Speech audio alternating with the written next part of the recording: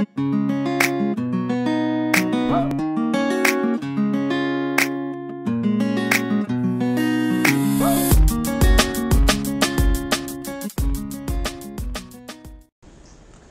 Virgo. So this is going to be your love reading for the month of October. I know, it's the 9th. But here I am, guys. This is going to be for your sun, moon, and rising sign, Virgo.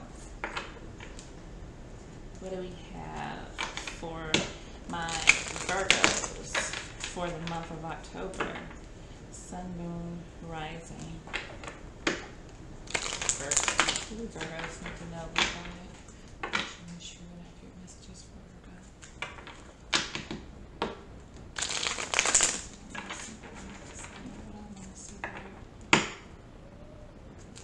Virgo. What does Virgo know?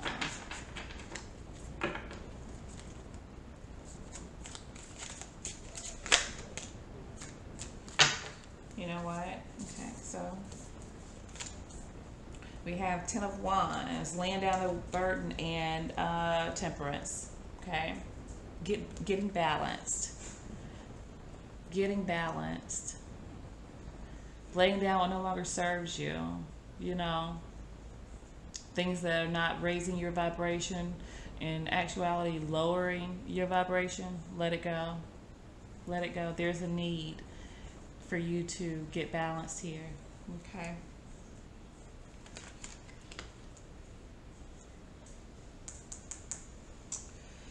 I'm going to put these cards back in the desk, deck because I actually wanted to pull. Um, I'm going to lay these over here. Actually, I'm not going to put them back in. I'm going to go ahead and pull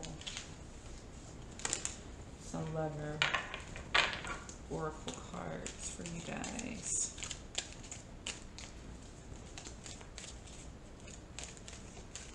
Three cards, please, guys. Three messages for okay for Virgo.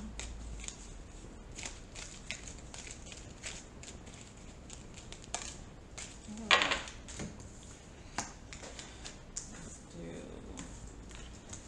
this one first. Life is a series of constantly shifting cycles.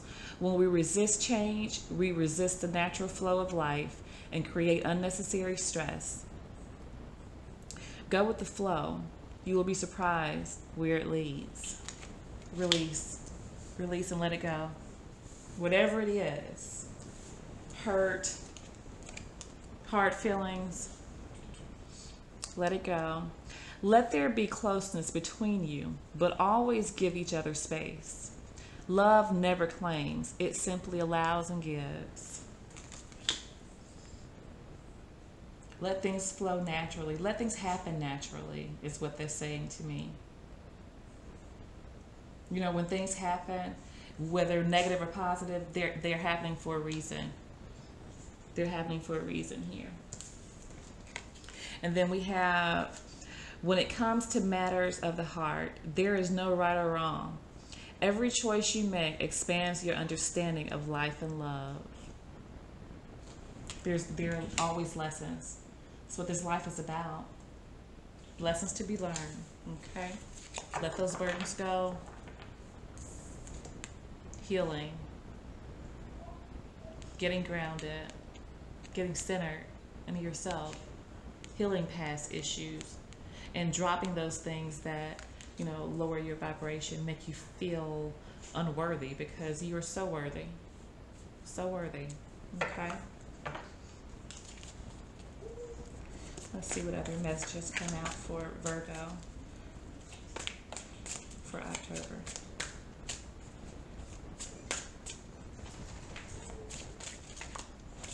okay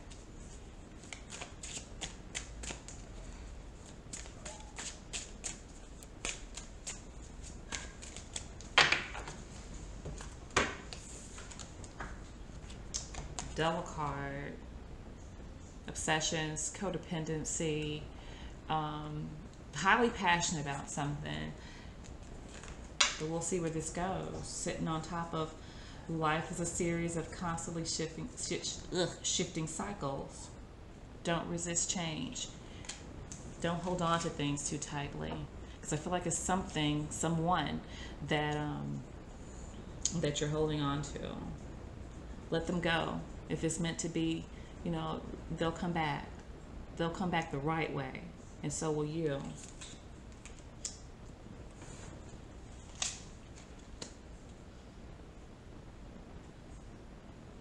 Yeah, I feel like, and this could possibly be a Capricorn that you're dealing with, but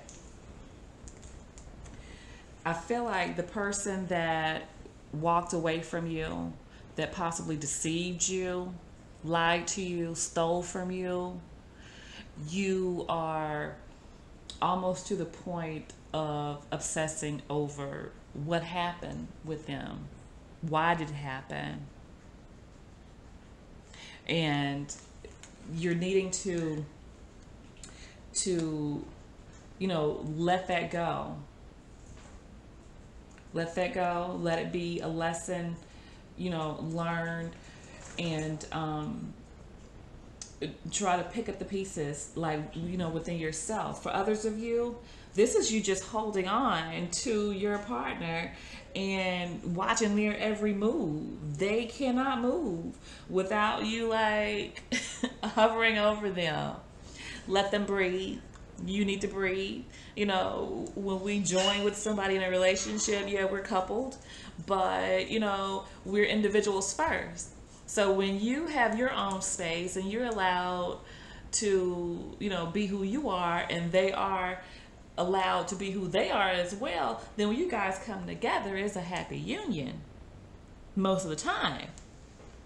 But when you try to hold on too tightly to someone, you know, that can push them away.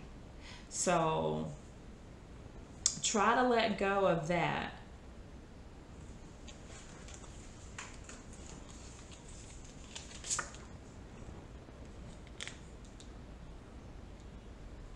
King of Swords, Knight of Cups.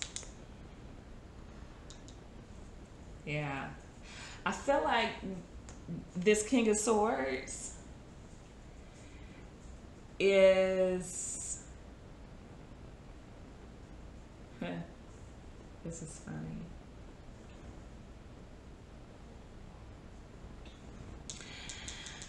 I feel like you were in the relationship that this King of Swords left and stole something from you. Be it something tangible or be it your heart. They stole something from you. And you're obsessing over it here. But they left. But you just love them so much you love them so much till now you're you're saying to yourself you you keep concentrating on this incident where you know I gave you this love I offered my love to you I showered you with with my love and affection and this is how you did me kind of thing. It's how I feel. And this king of swords is looking so smug. So smug. And for some reason, I usually like the King of Swords. But sitting here next to this Seven of Swords, he is like the creep of creeps for me right now. And I feel like he knew he manipulated the situation and how you felt about him possibly.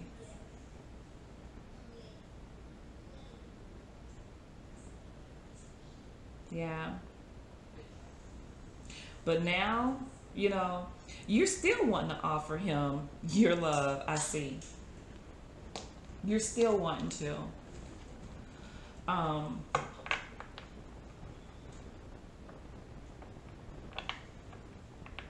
just be careful with that. Be careful with that because with this devil energy here, I don't feel like I feel like there's there's not much more that um, hmm that you could take from this um, this energy where you feel neglected or feel taken advantage of or you know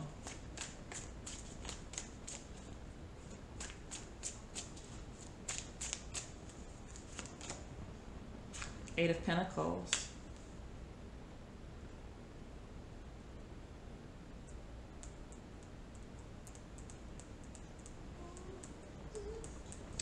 I feel like this person,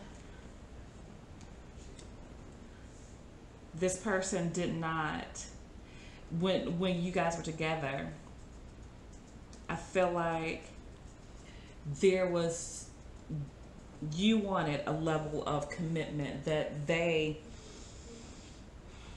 they made you feel like you guys were headed there but you never felt like you guys were really headed there. Like they were pulling the the wool over your eyes. Um, i feel like you were really trying to work on this this relationship but this king of swords you know kind of had one foot in and one foot out the door and kind of scooted out when things got tough.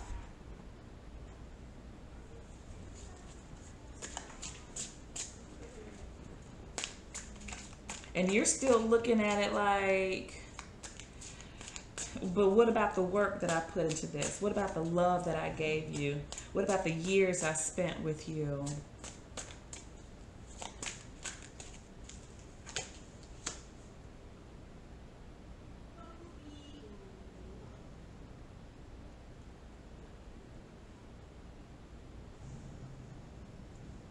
Also feel like this um,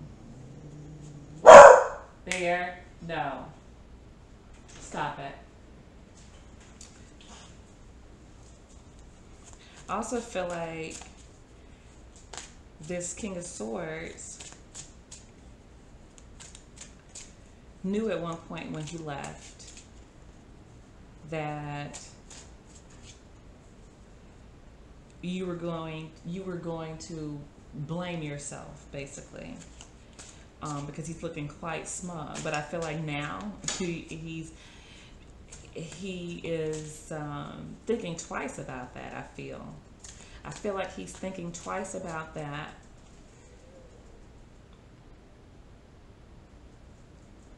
And i feel like he also thinks that you know he wasn't building with you he left you out in the cold, but he also feels like you're no longer out in the cold. Maybe that you have somebody else that you're trying to build something with here.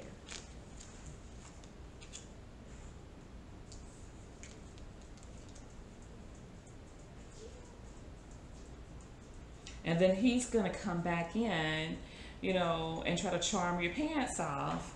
Once you get settled into um, possibly another relationship with somebody or, you know, start dating again, he's coming back because he knows what it takes to get you back. He knows what it is that you want. He knows what it is that you've been asking for from him.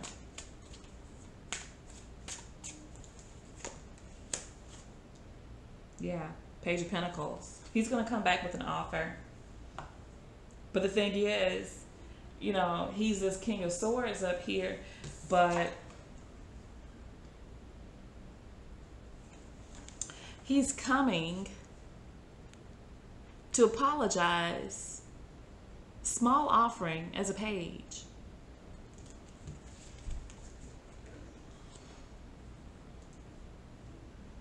Small offering as a page.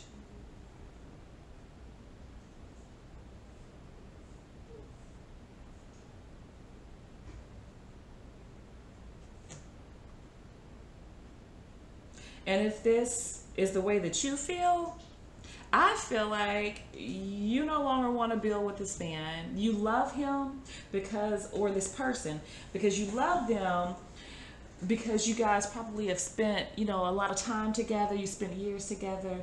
You loved him. You you invested a lot into this relationship, but um, you know that he is your vice with this devil card.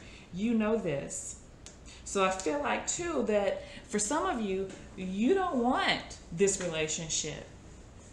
You're discovering yourself.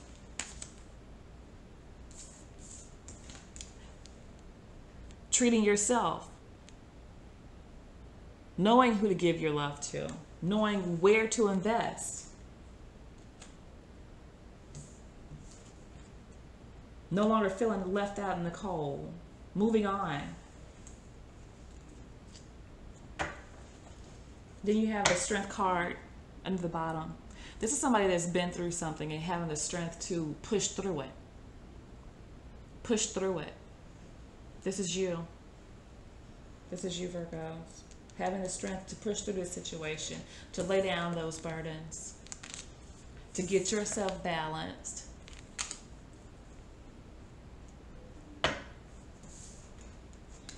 Stop building where there is a faulty foundation.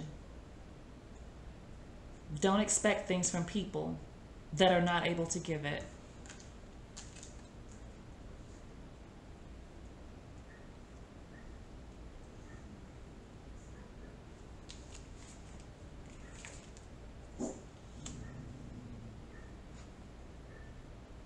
Yes. Not willing to invest anything else substantial into this person. Not going to do it.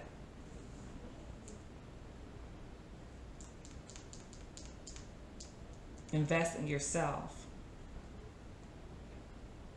This is investing in yourself. This is this is getting needing to get balanced in yourself. The Hierophant. Knowing where you stand here again. This is all about, you know, getting grounded. Because the Hierophant stands for, you know, you know, you know what it is that you believe in. You know what you'll accept. You know what you want. You know what you want out of a relationship. And you need to draw those boundaries and hold your standards regardless. Building yourself balance yourself out. Don't give your energy away. Don't just give it away. Balance yourself out.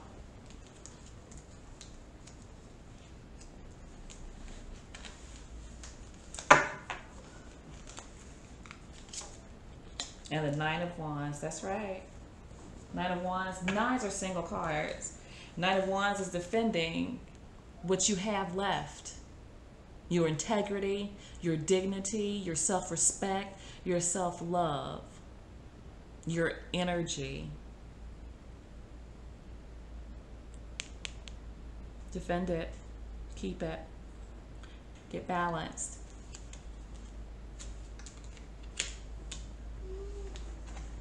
I'm going to pull an angel affirmation card for you guys to close out this reading actually two came out, so we'll go ahead and go with those. First one is Clear Your Vibes.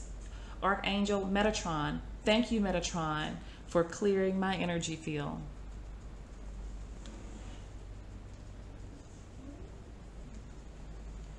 Honor your feelings, Archangel Haniel. Thank you, Haniel, for supporting me as I honor my emotions. All right, Virgo friends, this is your reading for October, and I will be seeing you guys, talking with you soon. Um, I just, I just have to say, um, love yourself first. Love yourself first. And sometimes it's so hard to do, especially when you've had a difficult childhood, you've had difficult relationships, um, whether it's familiar relationships or whether it's intimate relationships. Sometimes we get so lost in other people till we forget about ourselves. So, um, honor your feelings.